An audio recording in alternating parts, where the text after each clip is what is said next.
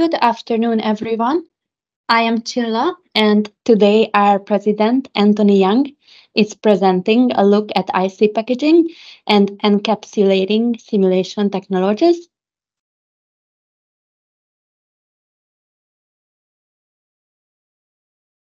Um, this is Anthony, and uh, today um, I would like to uh, share some uh, Moldex3D simulation technology and applications um, for uh, IC packaging and um, the encapsulation process. And here's the content and outline of my today's uh, presentation.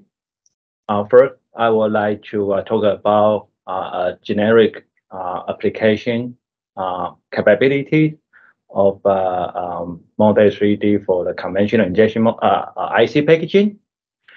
And um, after that, um, my today's focus will be on the uh, dispensing and uh, capillary uh, flow of uh, IC packaging. And I would like to share um, the Moldex3D solution for such kind of application. And uh, after that, I will uh, share some kind of validation and some good uh, application examples with the with you guys.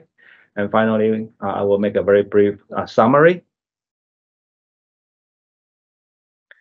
So uh, the first, I would like to uh, take maybe uh, a couple of uh, uh, several uh, seconds on the company and our product. So right now, um, Moldex3D is one of the biggest CAE simulation provider for injection molding and also for IC packaging as well. And globally, we have 350 people, and most of my our team member they have an engineering background. And uh, we have a nine global office. And then um, we have a lot of uh, partner. Uh, uh we work with them uh, globally.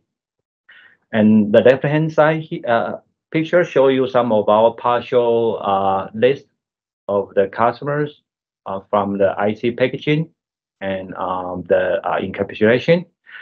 And uh, in addition to Moldex3D, we also uh, provide some integration with the other software so that our customers, they can uh, integrate Moldex3D with uh, their CAE software to run some advanced thermal mechanical simulation for uh, IC uh, packaging process. And this slide show you picture view about what we can do with that Moldex3D IC packaging.